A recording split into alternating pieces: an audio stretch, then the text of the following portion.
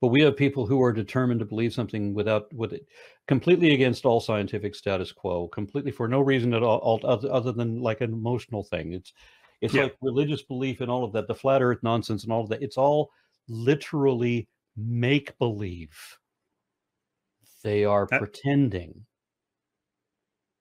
Yeah, and I, I think they just feel comfortable in it in, in most cases, um, and especially with the conspiracy nutters, they're more uh, uh, they want to stick it to the man, so therefore they're not going to agree any on whatever authority tells them is the truth, and uh, oh, yeah because they they, all al- they reinforce each other. the, they always have the secret knowledge yes, they're they're one of the privileged elite in that respect that they that they know you know the untold truth and yet they seem to form cliques of dumbasses. So people who don't seem to know. Sorry, you were taking a coffee sip, then I shouldn't have said that.